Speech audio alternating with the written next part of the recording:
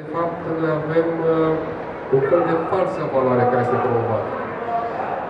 Și de aici este o, chiar în permisiunea noastră să vă citez un mic uh, citat care spune că următor. Uh, citat care vine cu Mesiu de martie 2010.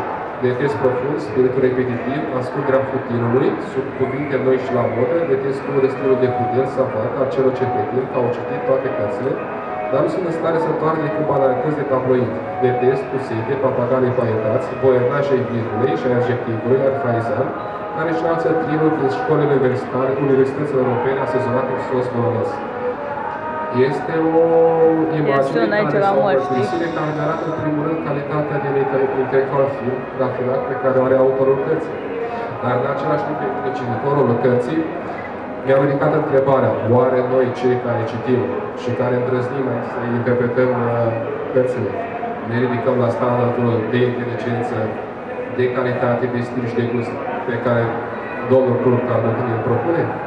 Și cred că este o întrebare care nu știu dacă noi vom găsi răspunsul și probabil cei care ne ascultă sau cei care ne vor citi. Dacă nu mai citește cineva ziua de astăzi. Uh, și din păcate, această falsă valoare se regăsește la mulți dintre intelectualii noștri de astăzi. Foarte mulți intelectuali s-au justificat prin ideea anticomunismului, chiar dacă de multe ori ea nu este justificată. Și vrut ca loc spune în următor, că acești uh, intelectuali apăruți după 1990, intelectuali anticomuniști în definiție, sunt de fapt niște mici impostori, dacă pot folosi termenul. Pentru că ei de fapt își uită rădăcinile au venit. Mulți dintre ei sunt rezultatul sistemului comunist de recrutare a valorilor. Mulți dintre intelectuali de astăzi au ajuns în aceste posturi tocmai datorită modului în care comunistul a încurajat să promoveze în societate pe tineri